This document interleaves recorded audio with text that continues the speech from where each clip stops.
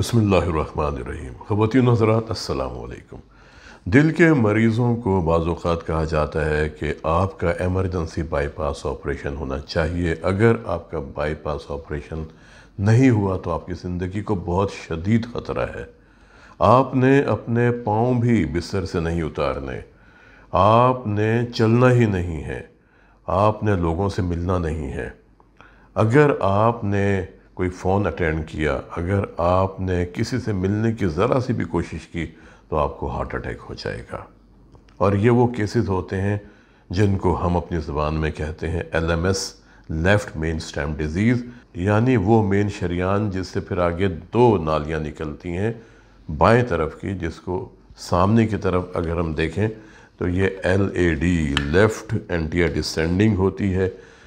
کچھ لوگوں میں ایک تیسری نالی بھی ہوتی ہے انٹرمیڈیس اور ادھر لیفٹ سرکمفلیکس ہوتی ہے جو گھوم کے پیچھے کی طرف جاتی ہے۔ یہ تو لیفٹ سسٹم ہے جو لیفٹ مین سٹیم سے نکلتا ہے اور یہ رائٹ کارنری سسٹم ہے جو دائیں طرف سے نکلتی ہے۔ اگر یہ لیفٹ مین سٹیم تنگ ہو جائے تو کہا جاتا ہے کہ آپ کا ایمرجنسی بائی پاس بہت ضروری ہے۔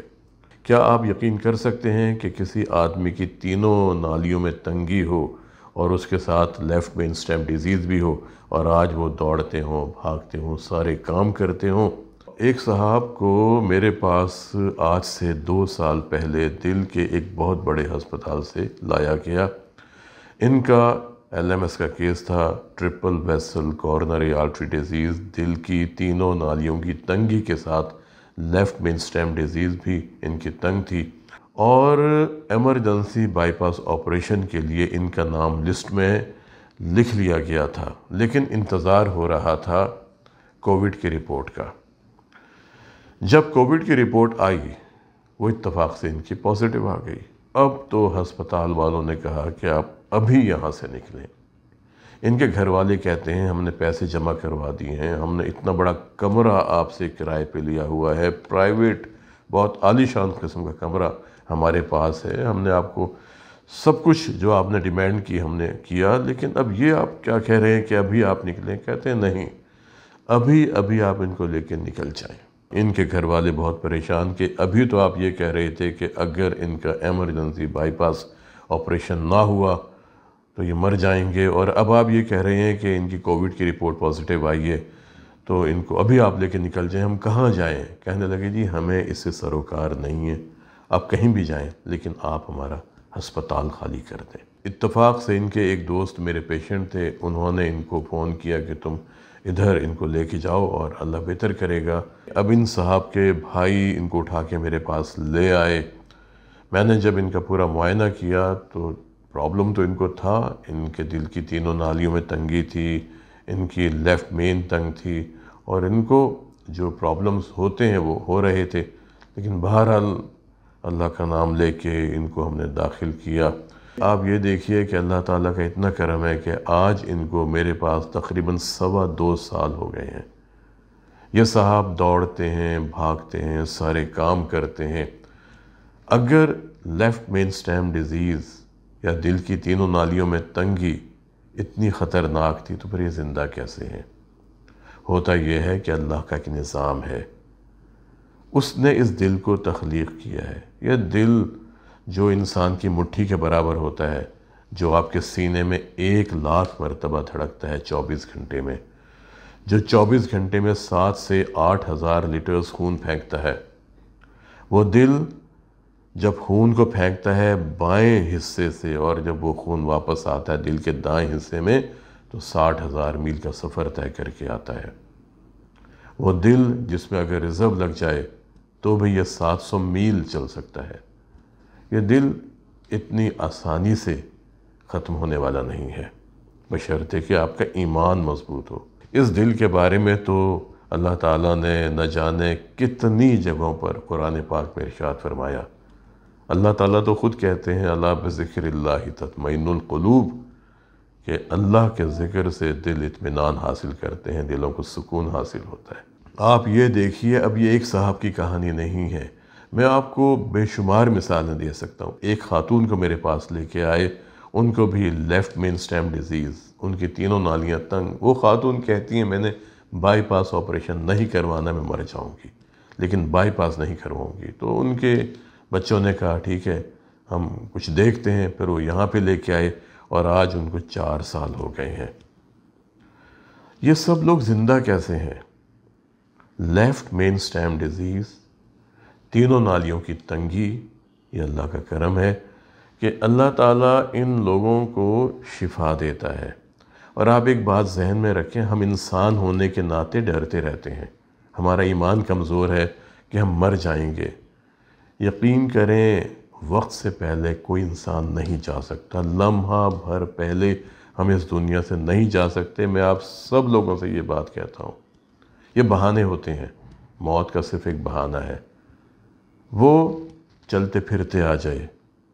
پہاڑ پہ جا رہے ہیں، انسان گر جائے، مر جائے۔ گھر میں بیٹھے بیٹھے گرے، مر جائے۔ موت کے یہ سب بہانے ہوتے ہیں۔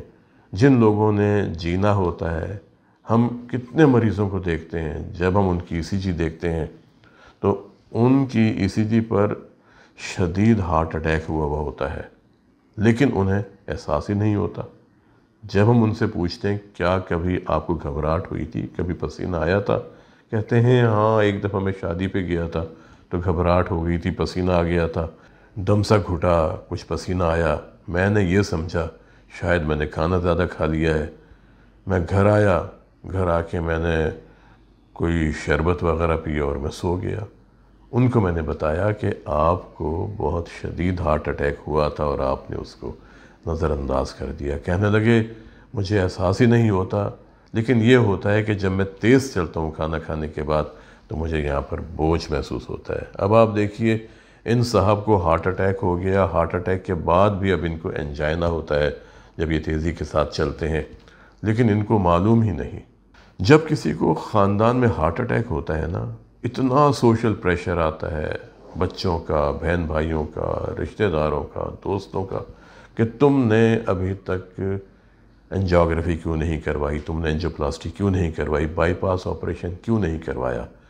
میں آپ لوگوں سے ایک بات کہنا چاہتا ہوں، یاد رکھیے انجیوپلاسٹی یا اسٹینڈ ایک وقتی سہارا ہے جو ہم تنگی کو دور کرنے کے لیے اس پروسیجر کو کرتے ہیں۔ اگر دل کی نالی تنگ ہے، ہم اس میں اسٹینڈ ڈال دیتے ہیں۔ اگر دل کی نالی بہت لمبی تنگ ہے، تو پھر ہم اس کے لیے بائی پاس کر دیتے ہیں۔ لیکن دل نیا نہیں ہوتا، دل زیرو میٹر نہیں ہوتا، یہ میں روزانہ باتیں سنتا ہوں۔ ہم نے اس وجہ کو ختم کرنا ہے، جس کی وجہ سے دل کی نالی تنگ ہوئی۔ ہم اسٹینڈ ڈالتے ہیں۔ کچھ عرصے بعد اسٹینڈ سے آگے کی نالی تنگ ہو جاتی ہے۔ پھر آپ کیا کریں گے؟ اسٹینڈ کے پیچھے کی نالی تنگ ہو جاتی ہے۔ جہاں ہم نے بائی پاس آپریشن کے دوران گریفٹ لگایا ہوتا ہے، اس کے آگے کی نالی تنگ ہو جاتی ہے، گریفٹ بند ہو جاتا ہے، سٹینڈ بند ہو جاتے ہیں۔ پھر آپ کیا کریں گے؟ اور بار بار کی انجیوگرافی یاد رکھیں، گردے کو نقصان پہنچا سکتی ہے۔ گردے فیل ہو سکتے ہیں۔ میں یہ کہنا چاہوں گا کہ اگر خاندان میں کسی کو بھی ہارٹ اٹیک ہوتا ہے، آپ لوگوں نے گھبرانا نہیں۔ اللہ سے دعا کریں، صحت کے لیے، زندگی کے لیے۔ ہسپتال جائیں، ڈاکٹر صاحب سے مشورہ کریں، ان کی ہدایات پر عمل کریں، ان کے دیے ہوئے نسخے میں خود سے رد و بدل نہ کریں۔ جو انہوں نے احتیاط بتائی ہے، وہ آپ نے کرنی ہے۔ سبزیاں کھائیں، پھل کھائیں، تمباکو چھوڑ دیں الکوہل چھوڑ دیں، بازار کے کھانے چھوڑ دیں۔ بازار کے کولاز جتنے بھی ہیں، چھوڑ دیں یا سرخ شربت سب ختم کر دیں اپنی زندگی سے۔ سادہ کھانے جو گھر کے بنے ہوئے ہوتے ہیں، چھوٹا نوالا لے کے آہستہ آہستہ چبا کے محسوس کر کے کھائیں۔ آپ دیکھیں گے کہ آپ کی طبیعت سیر ہو جائے گی۔ ہم اپنے میدے میں کھانے کو بھرتے ہیں یا مشروبات کو انڈیلتے ہیں، لیکن ہماری طبیعت سیر نہیں ہوتی۔ اگر آپ چھوٹا نوالا لے کے آہستہ آہستہ چبا کے محسوس کر کے کھائیں گے، آپ تجربہ کر کے دیکھیں کہ چار یا پانچ نوالے کھانے کے بعد آپ کی طبیعت سیر ہو جائے گی۔ پھر آپ سیر کریں پابندی کے ساتھ، خالی پیٹ قوت برداشت کے مطابق۔ اس کے بعد آپ ہلکی پھلکی ورزش کریں۔ آج ایک صاحب میرے پاس آئے، مجھ سے کہتے ہیں کہ ڈاکٹر صاحب، اب میرا دل کرتا ہے کہ میں روزانہ ایک گھنٹہ بھاگوں۔ جن کو آج سے تین مہینے پہلے ایمرجنسی بائی پاس آپریشن کا مشورہ دیا گیا تھا اور آج وہ نہ صرف سیر کرتے ہیں بلکہ مجھے بتانے لگے کہ میں ایک ایکڑ بھاگتا ہوں، پینتالیس منٹ سیر کرتا ہوں، گہرے گہرے سانس لیتا ہوں اور مجھے ایسا لگتا ہے کہ جیسے میں اس دنیا میں دوبارہ سے واپس آ گیا ہوں۔ آج کے ولاگ میں جو میں نے آپ کو باتیں بتائی ہیں، ان کا بنیادی مقصد یہ ہے کہ دل کی بیماری کی وجوہات کو ختم کریں۔